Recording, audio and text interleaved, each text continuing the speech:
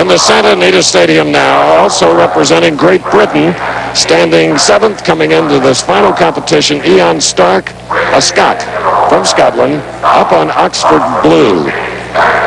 Lucinda Green, his teammate, just had a clear round with a time of 118.08, helping the British cause, Tad and Bill. And there is Lucinda telling uh, Regal Realm, did a fine job. Come out and watch her teammate. And the pressure is also on Ian Stark to have a clean round here. He'll really put the squeeze on the Americans. Ian is 30 years old, 5'8", 150 pounds, a former civil servant in Scotland.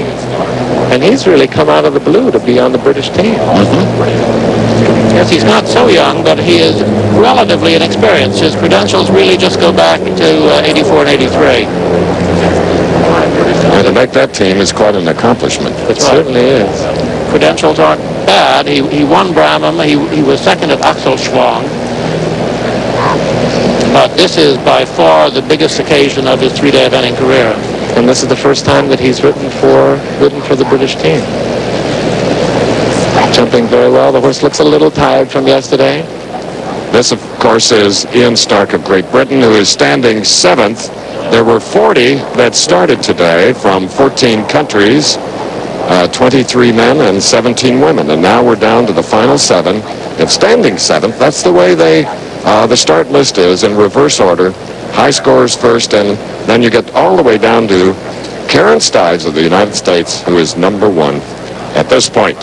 So far, kind of an iffy ride for Ian Stark. And He as you remember, on uh, Sunday and Monday, we had the elegant portion of the three-day test right here at Santa Anita Dressage, then a shipping day, and then on Wednesday, a grueling endurance test at Fairbanks Ranch. Another shipping day, and here we are with the final phase.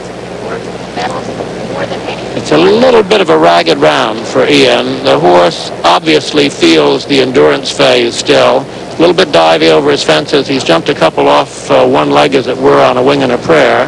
And I don't think Ian is going to draw a deep breath until he finishes this round. He certainly At the moment, he's still clear, and that's what he's got to do is to leave all the fences up and apply pressure to the U.S. And here he comes to the hardest combination on the course.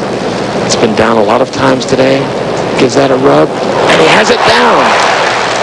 And that Yeah. gives the Americans a little bit more breathing room. A little breathing room. That puts back the 8.2 penalty point lead of the United States. And he really rubs that last down. one. Really oh, rubs that last one. And just inside the 122nd level, we're going to have great competition coming up. The final six. We'll be back after this word from our